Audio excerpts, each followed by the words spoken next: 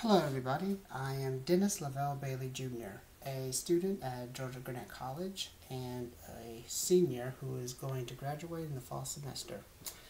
I am basically a, my major is English, writing, and rhetoric, and I want to become a creative writer for any editing companies or writing companies that will accept me in the um, near future for any sort of writing or editing, um, what's called, freelance jobs that will accept me.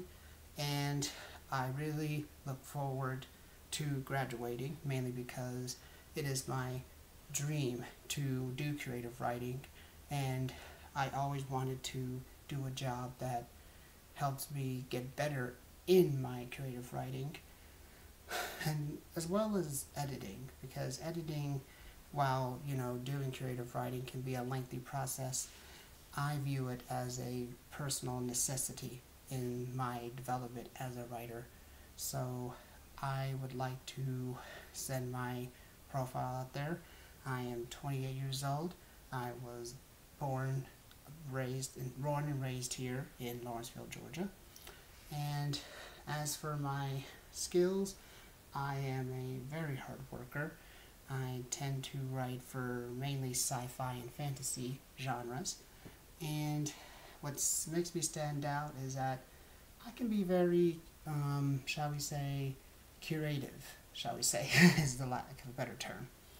And I want to basically make a difference in the writing industry, you know, with movies, TV, or if they allow it, even video games. So that is what I want to do in my life. And if any um, companies in the future accept my application and accept my status as, you know, a graduate from Georgia Gwinnett College or GGC, I will show you what I can do. And I will show the world what I can do, both creatively and my skills. Thank you.